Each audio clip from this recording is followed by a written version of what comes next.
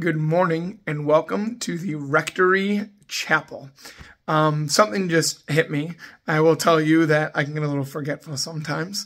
Um, and I had one day that I actually blew out one of the candles in the Rectory Chapel and forgot to blow out another one.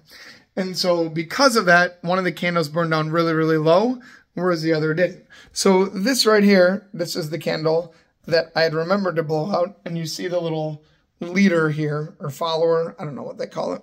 Um, and you can see that, you know, you have the flame and then you just have the candle. But this one that I took it off of, right, because it burnt down lower, you have the flame, but look, the entire wax, right, the entire thing here is glowing.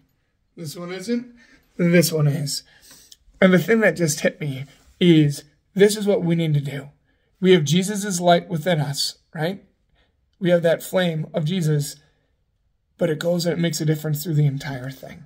When we spend time with Jesus, we need to pray. You know, we'll actually pray right now. We'll pray, Lord Jesus, please allow me to glow. Allow me to shine your light today, that when others see me, they don't just see me, but they see you shining through me. Know that today you can shine Jesus' light. In everything you do, ask Jesus to let your light shine, or to his light shine through you, right? In a beautiful, beautiful way. Be Jesus for the people around you today. And God bless you.